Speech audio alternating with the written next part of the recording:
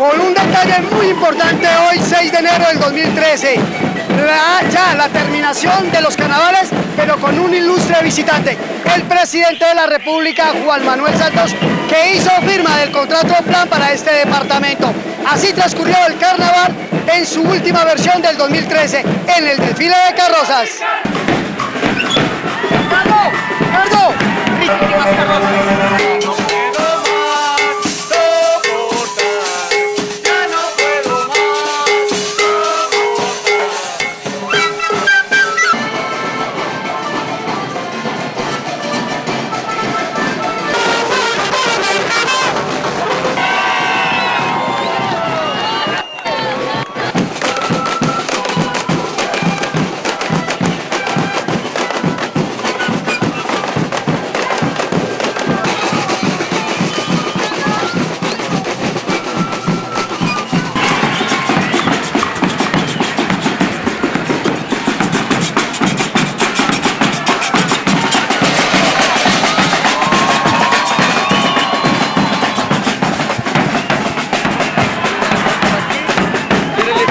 Para que trabaje más cómodamente.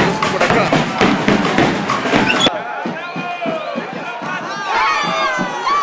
Bueno, Andrea, ¿qué tal si vamos con la gente rápidamente? ¿Cómo están los carnavales? ¡Bueno!